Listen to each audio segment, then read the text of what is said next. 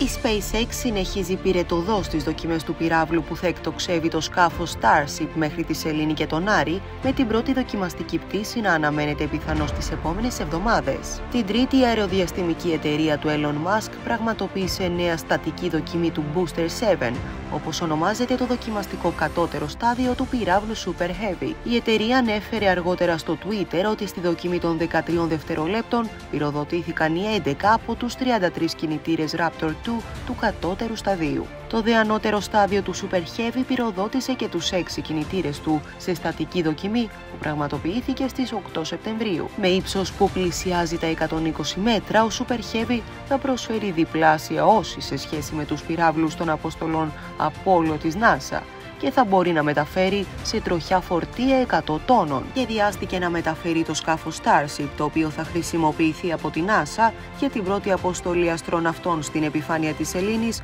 από τη δεκαετία του 1970. Αποστολή που δεν αναμένεται πριν από το 2025 το νωρίτερο. Στην πρώτη δοκιμαστική πτήση, το Starship θα ολοκληρώσει μια περιφορά γύρω από τη γη και θα πέσει στον ειρηνικό έξω από τη Χαβάη, ενώ ο πύραυλος Super Heavy θα έχει απορριφθεί νωρίτερα στον κόλπο του Μεξικού. Στην τελική τους μορφή, τόσο το σκάφος όσο και ο πύραυλος θα είναι πλήρως επαναχρησιμοποιήσιμα και θα επιστρέψουν είτε στην ξηρά είτε σε πλωτές πλατφόρμες.